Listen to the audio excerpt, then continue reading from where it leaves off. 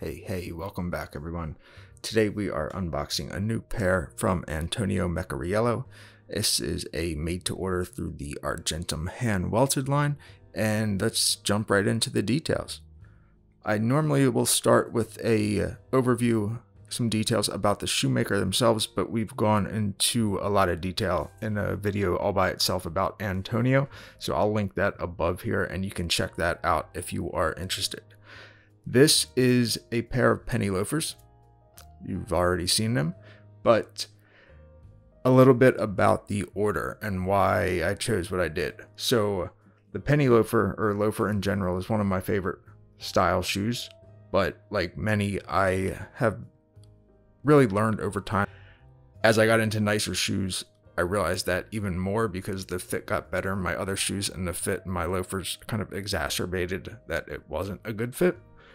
So as I developed that relationship with Antonio, we really kind of not dialed in the fit on the various lasts, particularly the hawksbill last, and that's what this is. So this is a custom pattern Argentum hand welted made to order pair in peccary with the hand patina by Antonio, which is the antiqued noche color.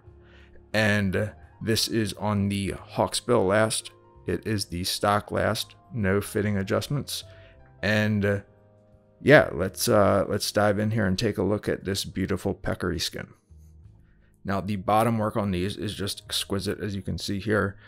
He offers a lot of like marbleized and kind of like custom patinas for the sole. I wanted something that was really subtle patina to match the patina on the upper. Now looking at the overall pattern, like I said, this is a custom pattern.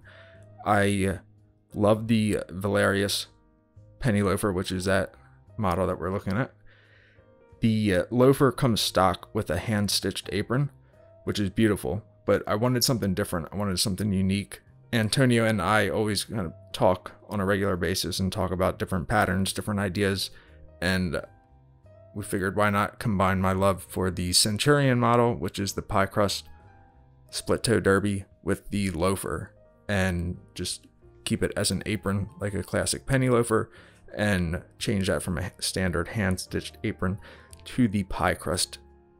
Now, my initial thoughts looking at this, kind of doing the unboxing here, is they came out perfect. And I say that, and everyone's going to say, oh, well, I'm sure there's issues here, or I see looks like there's a little variation in the patina. Like, it came out perfect because this is exactly what I had envisioned, exactly what I had communicated to Antonio, and he executed the craftsmanship on these exactly how we had envisioned from the start.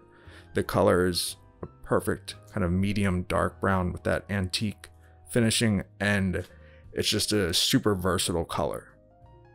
The fit, as I had mentioned, we had some apprehensions. We talked about doing some of the custom fits that I have on my other last from him, but ultimately, long story short, it's usually the vamp that needs to be reduced. But with my instep and the nature of penny loafers, we decided to leave it as stock so that we didn't mess with that instep stock fit, which works perfectly for me on the Hawksbill. And uh, it's it's working out perfect so far just from that initial try on.